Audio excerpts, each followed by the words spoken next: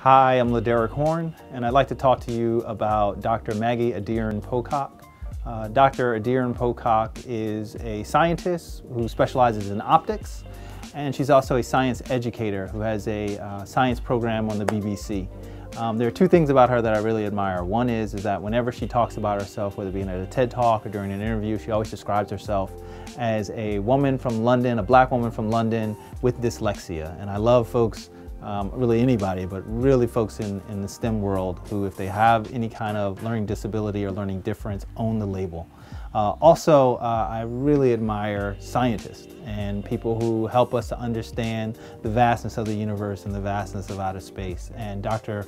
Uh, Aderin-Pocock has worked on uh, telescopes and instruments that have helped us to get a greater understanding of our place in the universe. And so that's why she inspires me, and I hope she inspires you.